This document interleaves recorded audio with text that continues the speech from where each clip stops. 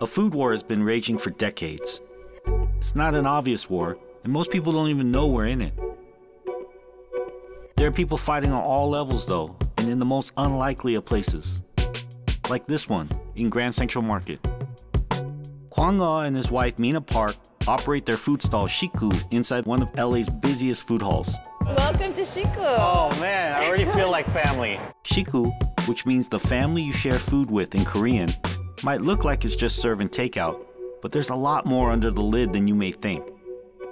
This is beautiful. I love your stand. Thanks. It makes me feel like just in a moment I'm like in Korea, like in Seoul or at, at the oh. market or Oh, that's great. Yeah, we were Yeah. inspired by the We- Korean market. by Gwangjang Market and stuff? Yeah. My husband Kwang is in the back, All right. actually. Yeah, he's so back. you can, Hi, I see you. You can't hide from me.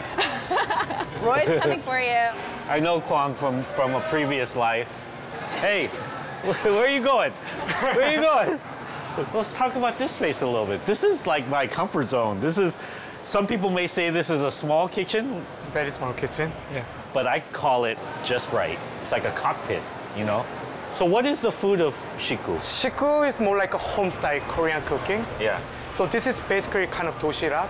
Yeah, toshida. So when I was growing up, that means lunchbox. yeah, every Korean mom usually say the most important thing is love. Because Love. all the mom, they wake up like at 6 o'clock and then they make them. Yeah. So that, that's why we choose the Shiku, yeah. That's beautiful. So today we're gonna make gatnipjeon, which is definitely you know, but Great. uh, and then we're gonna make kind of sauce, kind of dipping sauce, Uh-huh. uh, something like a gatnip chimichurri, Oh. something like that. So Let's go. Okay, Shiku's meaning goes way beyond sharing a meal. Mina and Kwang are also sharing and preserving Korean vegetables that are being lost to factory farming. So the perilla leaf and the gochugaru, the chili powder, are coming from the seeds from Kristen, who we will visit.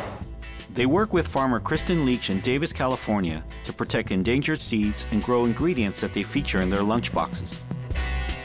kimchi corn, scallion, garlic, also a little Oh, bit okay. of chili. So it's a reinforcing of flavor, Yeah. and that's all in here already. Okay, got it.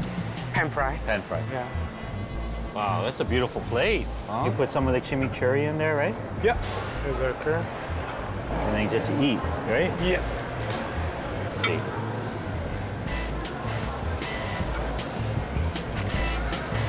I had, to, I had to pull out the cabbage patch for that. That was so good. You guys have purpose in everything you do. It's not just home-cooked Mashinen makbegi food, but it's also you have purpose behind that, going back to the sea, right? You know, we want Shiku to really amplify Korean food, Korean ingredients, and kind of broaden uh -huh. people's knowledge of what it is. And so we're inspired by people like Kristen of Second Generation Seeds, creating this relationship over time, um, really over our passion for Korean vegetables. So what's so important about preserving Korean seeds here in the U.S.?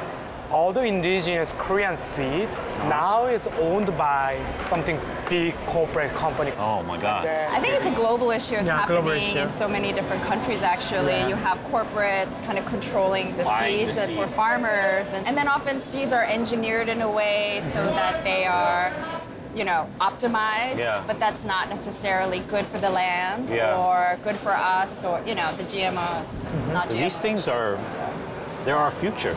They're a future that we must Yeah, protect and cultivate. yeah, Diversity. exactly. Diversity, Yeah. because we don't want to all end up like a science fiction movie where we're all one, Unit.